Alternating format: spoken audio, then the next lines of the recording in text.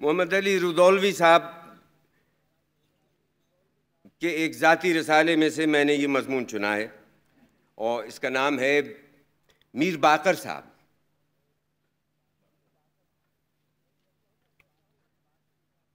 सैयद मोहम्मद बाकर रिजवी मुजाफात रुदौली मौज़ा अहरौली सादात के रहने वाले थे। इनके बचपन में इनके वालिद गोरखपुर में सरकारी मुलाजिमत करते थे। इनके मामू मरहूम बस्ती में अच्छे खासे ज़िम्मेदार थे। रुदौली आते थे मगर कम। बाप की नौकरी का सिलसिला ख़त्म हो गया, मामू का इंतकाल हो गया, नाचार अपने आबाई घर वापस आए। बचपन में मुझसे बताया गया था कि किस बाबा आदम के रिश्ते से ये हमारे चचा होते हैं। आखिर में तो उनको आधी रुदौली चचा कहने लगी थी, जगत चचा हो गए थे। चार भाई थे, भरा पूरा घर था, माँ के पास दौलत थी, मामू की ज़िम्मेदारी के वारिस थे। इनके बाप यानी सज्जाद दादा तो खामोश आदमी थे, शहद की मक्खी के नर थे। मगर हमारी दादी बड़ी मुंतजिम थी, अगर दरवाजे पर दस आदमी पहुँच जाएँ तो घड़ी भर में सबको खाना खिला दें। मेहमान नवाजी चिल्ला के बात करना और हर वक्त काम में लगी रहना और एक एक जुमले में तीन तीन कस्में खाना इनकी खासुल खास खसूसियात में से थी। ये आखिरी सिफ्त इनके बच्चों को पूरी तरह विरासत में पहुँची थी। थोड़े दिनों के बाद सज्जा दादा ने इंतकाल किया। यूँ तो मौत मकरू है, लेकिन अगर ईमान की पूछे तो कुछ ज़्यादा नुकसान नहीं हुआ। नवाब राहत हुसैन मरूम कहते हैं कि इस हादसे के बाद सिवा मीर बाकर साहब की वालदा के किसी के हवास बरजा न थे, हालाँकि इनका गम हकीकी गम था, मगर लड़कों के ख्याल से मौसूफ़ा ने मुझको ये काम दिया कि लड़कों को तसल्ली दूँ, राज़ी बरजा रहने की तिलकिन करूँ, और सब्र की खूबियाँ इन लोगों पर अच्छी तरह रोशन करूँ। अब दफन के पहले तो खैर सभी के ऊपर असर होता है, लेकिन कब्रिस्तान से वापस आने के बाद बेकारी का मशगला रोने का बहुत तरक्की पकड़ गया। इसलिए मैंने ये तदबीर निकाली कि मियाँ बाकर के चारों भाइयों को यकजा न होने दूँ। चुनाचे एक को मैंने सदक़े काम के देखने को कहा और दूसरे को मेहमानों की तरफ़ भेज दिया। दो छोटे थे, वो बगैर दोनों बड़े भाइयों की मदद के ज़्यादा आफत नहीं जोत सकते थे, इसलिए उनको दिलासा देकर यूँ ही छोड़ दिया। उसके बाद नवाब साहब बयान करते हैं कि मैं रफ़ा हाजत के लिए चला गया, वहाँ से सुना कि फिर कोहराम पड़ गया। मैंने समझ लिया हो ना हो ये चारों भाई इकट्ठा हो गए। जल्दी जल्दी वापस आया, क्या देखता हूँ कि सब के सब जमा हैं और नई तरह के बैन कर रहे हैं। एक कह रहा है, खुदा की कसम, बाबू मरहूम आठ आठ दिन मुँह नहीं धोते थे और इस पे सब मिलकर बड़ी ज़ोर से रोते हैं। फिर दूसरा कहता है, रसूल मकबूल की कसम, दांत भी तो नहीं मांझते थे और फिर वही घुमसान पड़ती है। तीसरा कहता है, और नहाते कब थे? कसम कलाम, मजीद की अम्मा के डर के मारे गुसल खाने में यूँ ही पानी फेंकाते थे और फिर वही शोर मचता है। चौथा ढाड़े मारकर कहता है कि दो बजे रात को मरहूम का छींके से हांडी उतार कर गुप गुप दही बड़े खाना याद आता है और इस पर तो पूरी महफिल माई बेआब की तरह तड़पने लगती है। पहला बाब इस दफ्तर का उस वक्त से शुरू होता है जबकि इस घर की लक्ष्मी उठ गई। यानी मियाँ बाकर साहब की वालिदा का इंतकाल हो गया। खर्च की तंगी अब भी नहीं थी। दो चार आदमी अब तक इनके कर्जदार थे, मगर वो बात जाती रही। फिर उनका घर बीमारियों ने देख लिया। ज़्यादातर दौलत इलाज में और कुछ रख रखाव में ख़त्म हो गई। मीर बाकर का भी यही हाल हुआ कि इधर उधर मुलाजमत की तलाश करने लगे? सिन ज़्यादा, कोई डिग्री नहीं, पाबंदी से काम के आदि नहीं। अगर किसी जगह ठिकाना हुआ तो भी मुसाहिब की सूरत में। अब तो इनकी बजला संजी, हँसी ठट्टे की धूम मच गई। उसके बाद लड़के जवान हो गए, कोई सौ कमाने लगा, कोई दो सौ। छोटा भाई वकील हो गया मियाँ बाकर की कोई ज़रूरत पूरी न कर सका। न उन्होंने अपना रवैया बदला। गोरखपुर बस्ती में नशोनुमा हुई थी। वहाँ ताड़ी शराब के कतरे बड़ी बड़ी दाढ़ियों पर दिखाई देते हैं। किसी तरह बदकिस्मती से ये भी उसके मज़े से वाकिफ़ हो गए। मगर हंसने का चस्का पड़ गया था। अपनी बुराई हो या किसी की बात हो, अगर उसमें हंसने की गुंजाइश होती तो मीर बाकर उसके बयान करने से न रोकेंगे। बदकिस्मती से घोड़दौड़ खेलने का शौक़ हो गया। शौक़ के बाद आदत हुई, आदत के बाद लत हो गई। इस शौक़ के पैदा करने में शायद मेरी भी कुछ ज़िम्मेदारी हो। माँ, मैं तो बच गया, मगर मरहूम फनाफिल घुड़दौड़ हो गए। इस मशगले में रुपए का खर्च और यहाँ पैसा पास नहीं। उन्होंने अजीब तरकीब निकाली। किसी कर्नल जनरल का कोई खानसामा था, जिसने बहुत सा अंदोख्ता करने के बाद रेस के अहाते के अंदर चाय वगैरह का ठेका लेना शुरू किया था। घुड़दौड़ की आमद रफ्त में उससे याद अल्लाह हो गई, अब रावी चैन लिखता है। मगर इस तबाहकुन खेल में सिवाय जुआ खिलाने वाले के और किसी को अमीर होते देखा नहीं। फिर इसके लिए बड़े सरमाए की ज़रूरत है, अब यहाँ नंगी क्या नहाए, क्या निचोड़े। वही रुपया, दो रुपया का खेल, मगर शौक पूरा होता रहा। एक दिन दौरान मलाल से मिलने आए, कहने लगे, मोहम्मद अली, कसम है कलाम मजीद की, तुम हज़ार हमारे दुश्मन हो जाओ। मैं खुदा की कसम, हमसे ये नहीं हो सकता कि मज़ाक का कोई वाक़ पेश आवे और तुमसे न कहें। मगर देखो वल्ला किसी से कहना मत।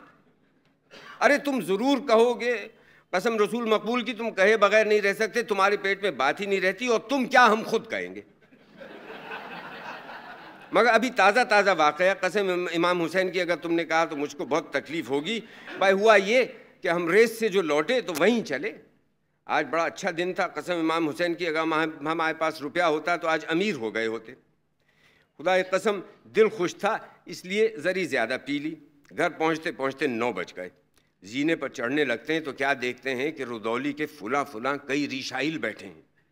भले को जीने पर अंधेरा था, नहीं तो कसम खुदा की बड़ा गज़ब हुआ था। हम उल्टे पाँव वापस आए। अब अमीनाबाद में इस उधड़बुन में टहल रहे हैं कि चिल्ले के जाड़े। हम इस जाड़े में कहीं जा नहीं सकते, कंबल लेने भी नहीं जा सकते। क्या करेंगे? एक बुढ़िया पान बेच रही थी। उससे गिलोरियाँ लेने लगे, वो भाप गई के नर्म चारा है। कहने लगी, मियाँ, ठिकाना कीजिएगा। कसम, कुरान की मोहम्मद अली, मैंने कहा, वो मारा, सब मुश्किलें यकबारगी हल हो गई, ना लिहाफ की फ़िक्र, न रज़ाई की, ना घर जाने में फजीते का खौफ, हम तैयार हो गए। तुम जानते हो हमको इन बातों का शौक़ तो कभी रहा नहीं, मगर मौका ऐसा था कि सिवाय इसकी और कौन सूरत थी। उस बुढ़िया ने एक छोटी सी लड़की मेरे साथ की और उससे कहा, मियाँ को अपनी आपाजान के यहाँ ले जाओ। गली दर गली वहाँ पहुँचे, सूरत देखते ही कहने लगी, जनिया, कुछ हमें भी पिलवाओ। खैर, एक अद्धा मंगवाया। हम तो पी चुके थे, उसकी खातिर से जरी सी चकली, मगर वो अद्धा का अद्धा चढ़ा गई। इख्तलात की बेतकल्लुफ़ी में हमारी वास्कुट में दो एक रुपए और रेजगारियाँ थी, पान मिठाई के नाम से पहले तो उसने वो ऐठे, नोट वगैरह नेफे में थी, उस पर हाथ नहीं डाला। उसके बाद निशानी के नाम से अंगूठियाँ ले ली। हमको इस तरह का इतफाक़ काय को हुआ था, मगर उस वक्त हालत हमारी कुछ ऐसी थी। बंदा खूब मार खाता है। हमारी आँख करीब तीन बजे खुली। घुड़दौड़ से लेकर उस वक्त तक के तमाम वाक़ात निगाह के सामने आ गए। अपने ऊपर गुस्सा, उन दाढ़ियों पर गुस्सा, कुछ अपनी हरकतों का इनफाल लाहौल वाला कुत मगर कसम कुरान की सबसे ज़्यादा गुस्सा उस रंडी पर था। भला देखिए तो तय क्या हुआ था और ले क्या कुछ गई? उंगलियाँ खाली कर ने, और वो फिरोज़ा भी तो नहीं है, अम्मा की निशानी थी, और हाँ जहान फरंग वाली अंगूठी भी ऐंठ ली। फुप्पी अम्मा मरहूम के पेट में जब दर्द होता था तो धो धो कर पिलाई जाती थी। हरामजादी कहबा कत्तामा शफ्तल, गैबानी, और देखो तो कैसी मीठी नींद सो रही है। रह जाओ बाकर। हम बाकर काय को जो इसकी कसर न निकाली तो भैया मैं उठा, उसका लोटा, पानदान, गिलास, पान की डिब्बिया सब मैंने संभाली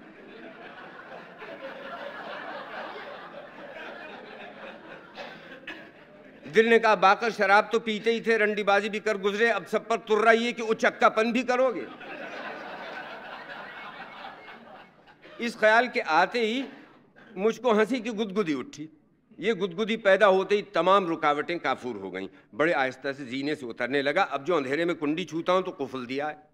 इस तबके के लोगों को चोर चक्कों से रोज ही सबका रहता है। पाँव से सर तक एक सनाका हुआ। पिंडलियाँ कांपने लगी, पसीना आ गया, सब चीज़ें जहाँ जहाँ से उठाई थी, वहीं जमा दी। और मजबूरन उसको जगाना चाहा कि कुंजी दो।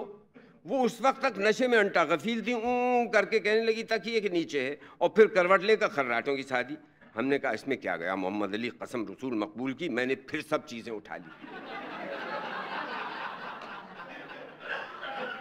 बगल में पानदान एक हाथ में लोटा, गिलास, दूसरे हाथ में डिबिया और कुंजी। कुफल तो किसी न किसी तरह मैंने खोल लिया। अब जो कुंडी खोलता हूँ तो बगल ढीली पड़ गई, खड़बड़ खड़बड़ करके पहले जीने पर पानदान गिरा। इसी गड़बड़ में लोटा, गिलास वगैरह मैंने फेंक दिया और सर पर पाँव रखकर भागा। कसम कुरान की उस वक्त समझ में आया कि चोरी आसान काम नहीं। गली में सन्नाटा था, मेरे पैर लग गए थे कसम इमाम हुसैन की मालूम होता था कि फौज पीछे धावा करती चली आ रही है। एक दो ही मोड़े मैंने पार की होंगी। अब चाल भी आहिस्ता कर दी कि एक तरफ़ से आवाज़ आई, चाय गर्मा गर्म दिल पर जैसे मोगरी सी पड़ी। आवाज़ तो थी चाय वाले की मैं खुदा कसम, मुझको ये मालूम होता था जैसे कोई कहता है, वो जाता है, चोटा जाता है, पकड़ना जाने ना पावे। अगर रास्ते में कुत्ता भी मिलता था तो मालूम होता था पुलिस के इंस्पेक्टर जनरल आ गए। खैर भाई, किसी ना किसी तरह अमीनाबाद पहुँचे। कसम कलाम पाक की हवास उस वक्त दुरुस्त हुए। मीर बाकर ने ठीक अंदाज़ा किया था। बात में भी हजम न कर सका और ये किस्सा अच्छा खासा आम हो गया। मगर बावजूद इसके लोगों ने बाकर साहब के बारे में राय वही रखी जो हमेशा से थी। मज़ाक की तारीफ़ ये की गई है कि दो गैर चीज़ों को एक ख़ास अंदाज से मिला देना। बाकर मरहूम में ये मादा इस दर्जे था कि जहाँ इसका मौका आ जाता था, वो बेबस हो जाते थे। उनके सच्चे मोहसिन और दिली हमदर्दों को उनसे अक्सर शिकायत पैदा हो गई थी कि ये एक तरफ़ की बात दूसरी तरफ़ लगा देते हैं। जिन लोगों ने इन पर एहसान किए थे उनकी भी हँसी उड़ा जाते थे। इस तरह के और भी इल्ज़ाम उन पर लगाए जाते थे, लेकिन ये बात हमेशा साबित हो गई कि अगर कोई मज़ाक का पहलू निकल आया तो चाहे तीसरी जंग अजीम क्यों ना छिड़ जाए, मियाँ बाकर राज फाश किए बगैर नहीं रह सकते थे। उस मज़ाक के चस्के के पीछे जो शख्स खुद अपना मज़ाक करवा दे, उससे दूसरों को क्या शिकायत हो सकती? है